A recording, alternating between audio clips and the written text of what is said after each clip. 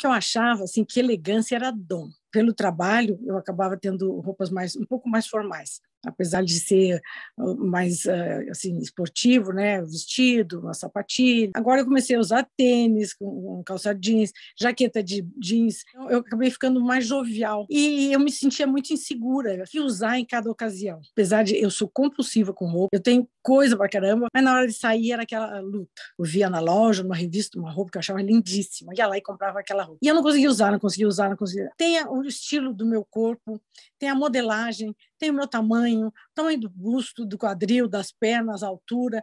Hoje eu presto atenção nisso. Então eu já não compro aquilo de qualquer jeito que é lindo na vitrine, mas que não cabe para mim. Eu vou te dizer que eu devo ter economizado muito dinheiro porque eu comprava muita coisa de grife. E por eu não saber comprar assim, o que era bonito, o que ficava chique, eu acabava indo por essa área. E agora eu encontro coisas mais baratas, são bonitas, são elegantes, é a mesma coisa.